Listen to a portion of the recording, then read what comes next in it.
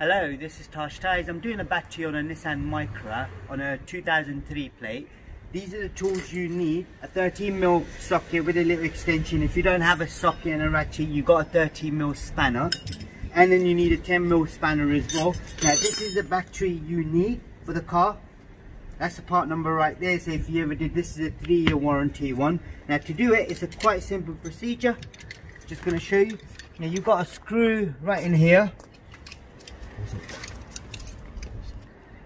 Right, that's a screw right there you got to undo first. So you've got a 13 mil. If they're tight, what you need to do is spray some WD-40. That should sort of kind of help it out, uh, free up a little bit. But once you've taken it out, make sure you don't drop it. So that's the bit. And the screw looks quite clean anyway. And then all you need is a 10 mil spanner. So undo the terminals.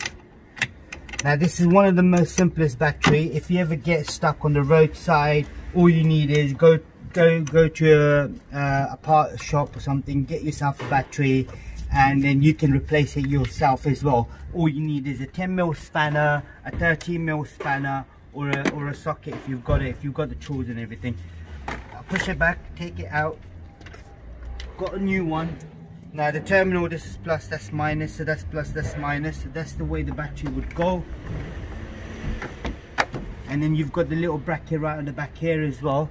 So if you if you see a bracket here, you push the battery in, make sure the battery is all secure.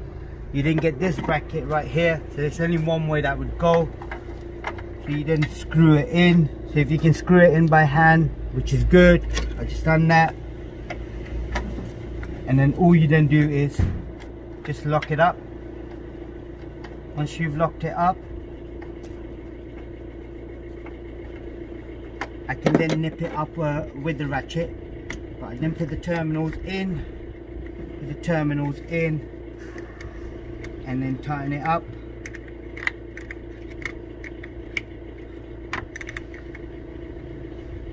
Just just nip them up so they're not they're not too tight. You don't want to really break it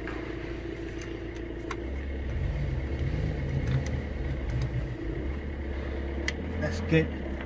That's good. And then with that one all I now do is just nip it up so the battery's secure. All I'm to do is start the car up make sure it's all running well.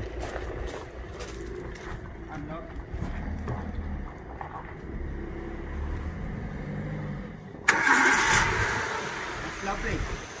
Now that's all done if you ever need to replace anything such as batteries on uh, if you haven't got a Nissan if you've got something else uh, just look at the bolt sizes uh, whatever you think. Just have a rough judgment what spanners you require. Uh, phone the part company you'll always have the battery size on the sticker itself. If you're not too sure then phone your local garage up give them your car registration. They will then uh, tell you what battery it is and how much it is and if they'll supply and fit it for you or you can grab it and fit it yourself which is quite simple. Uh, sometimes when you're stuck on the roadside you can't go to a garage or whatever you want to do it yourself this is the best way. Anything else you need to know let me know and uh, drop in a message. Do subscribe to our youtube channel as well please and uh, share the videos like it. Thank you very much. Goodbye